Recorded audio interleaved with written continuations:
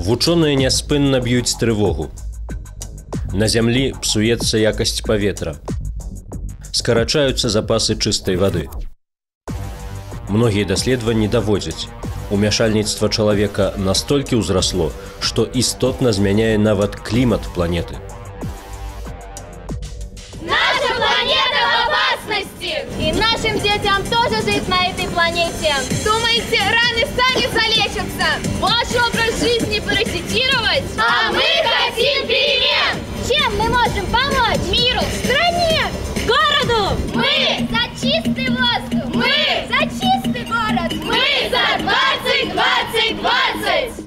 Нават дзеці ў полацку ведаюць, што ён першым з беларускіх гарадоў стаў удзельнікам стратэгіі трох двадцатак. На 20соткаў скараціць выкіды вуглякіслага газу, на 20соткаў больш выкарыстоўваць узнаўляльныя крыніцы энергіі, на 20соткаў падвысіць энергаэфектыўнасць. І ўсё гэта да 2020 году. Такія абавязкі бярэ на сябе кожны горад, што далучыўся да пакту мэраў. Стаць паўнавартасным чальцом гэтай еўрапейскай экалагічнай ініцыятывы гораду дапамог праект еўрапейскага саюзу шуа устойлівае развіццё энергетыкі ў гарадах рэгіёну еўрапейскага інструменту суседства і партнёрства на шляху да пакту мэраў. А благодаря этому проекту было намного легче разработать план устойчивого энергетического развития, который является а, одним из основных обязательств, э, формирование которого является одним из основных обязательств при подписании пакта мэров. Над стварэннем гэтага плану працавала міжнародная група экспертаў.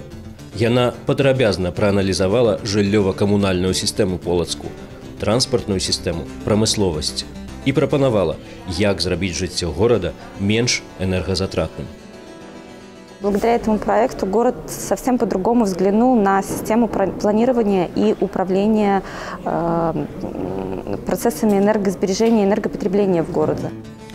Ён дае гарадам-навічкам магчымасць скарыстацца найлепшым еўрапейскім досведам у сферы энергаэфектыўнасці і атрымаць сур'ёзную экспертную падтрымку на стадии даже анализа, изучения э, скрывались те вещи, которые вот они вроде бы на поверхности лежат, а когда скажем, не так э, скрупулезно к этому подходил, может быть, чего-то не замечали. Поэтому даже э, возможность проанализировать, изучить то, что мы имеем, это уже дает большой плюс. Но, естественно, когда прорабатываешь ситуацию, свои возможности изучаешь, планируешь, разбиваешь на этапе, находишь пути, как достичь этих целей. Естественно, движение ускоряется. А специфика или особенность э, этого проекта, э, прежде всего, в том, что это первый проект на территории Белоруссии. Это пример, станет добрым примером для других городов, которые наверняка присоединятся к этому движению. Паслядоўнікі полацка ў Беларусі ўжо знайшліся. Хутка да пакту мэраў далучыцца Новогрудок. Когда мы подавали заявку в 2011 году, значит, мы уже руководствовались э, опытом Полоцка. Я думаю, что в дальнейшем мы совместно с э, э, уже имея опыт города Полоцка, совместно будем и с ними, и с городом Полоцком сотрудничать в данном направлении. Потому что одни и те же самые цели, те же самые задачи, которые поставлены и определены пактом мэра. Праца, зробленая палачанамі, будзе карыснай не толькі для Беларусі, але і для іншых краін. У нас общая проблема, скажем так, городов СНГ, бывших, Совет, бывшего Советского Союза. В этом плане для нас будет очень полезно узнать опыт Полоцка.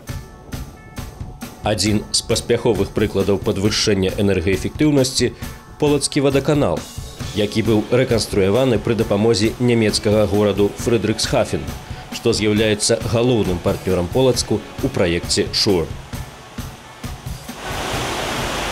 в нашем регионе вода сложная для очистки как поверхностная так и подземная поэтому мы выбрали вот такой метод ну, ну, достаточно сложный двухступенчатой очистки здесь использованы насосы струйные которые просто путем инжекции подают воду засасывают воздух Э, в камеры аэрации і так вода насыщаецца. Усё іншае абсталяванне на водаканале таксама зробленае так, каб затрачваць як мага менш рэсурсаў. Да гэтага ж яго супрацоўнікі прывучаюць і жыхароў гораду. Дзякуючы пастаноўцы прыбораў у ліку вады, яе спажыванне ў горадзе скарацілася прыкладна ў два разы. Дзякуючы акцыям, што праводзіцца ў рамках праекту Шур, усё больш жыхароў полацку разумеюць, што зберагаць энергію не толькі экалагічна, але і выгодна. В любом случае, как бы покупали холодильники всегда, но сейчас как-то им больше интереснее даже покупать. И у них такой прям азарт.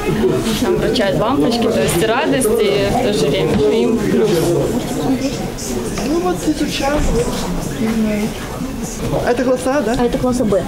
А, это класса Б. А класса А какие морозильники? Раньше как-то без разницы, а сейчас больше А-класса.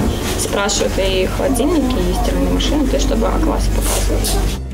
Мяняецца свядомасць людзей, а разам з ёй мяняецца і побыт.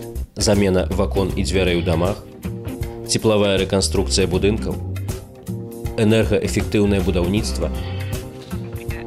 Усё гэта прыходзіць у жыццё палачан вельмі хутка. Обычно стоит деревянный оконный блок с двойными стеклами. Да, вот он стоит, да. Допустим. А здесь, ну, воздухопроницаемость какая-нибудь средняя, например. Воздухонепроницаемость. Ну, низкую надо поставить. Низкую, да? Низкую, да.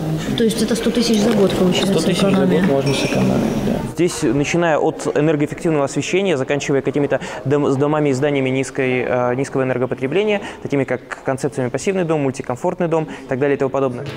Каб горад змог стаць сапраўды энергаэфектыўным, у працы павінны ўдзельнічаць усе ягоныя прадпрыемствы і установы.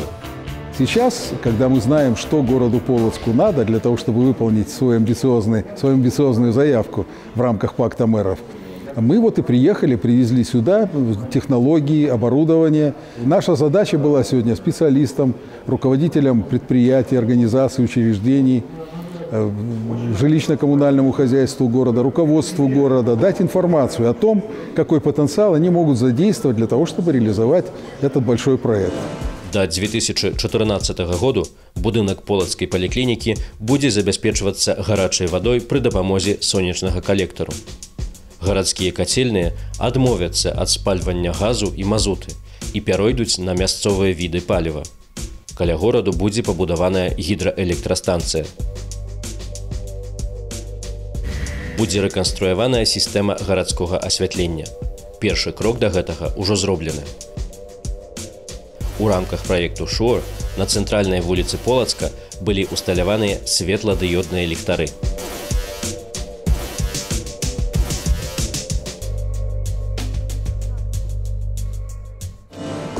Яны выкарыстоўваюць на траціну меней электраэнергіі, а тэрмін іх працы каля 15 гадоў.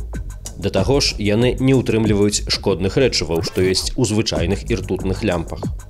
Уся праца па іх усталяванні была зробленая за сродкі Еўрапейскага саюзу. Вот эти новые фонари, они хорошо будут, наверное, освещать. Ну, ну, хотя бы хоть что-то сделали для Полоцка. Э, Ну, я считаю, что красиво вечером э, гулять по городу, это, конечно же, очень классно.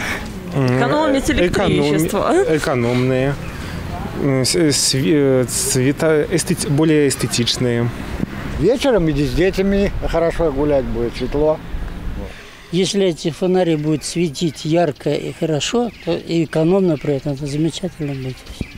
У межах праекту Шор у Полацку хутка з'явяцца паркоўкі для ровараў і роварныя дарожкі, каб кожны з жыхароў мог рушыць да энергаэфектыўнасці сваім уласным шляхам.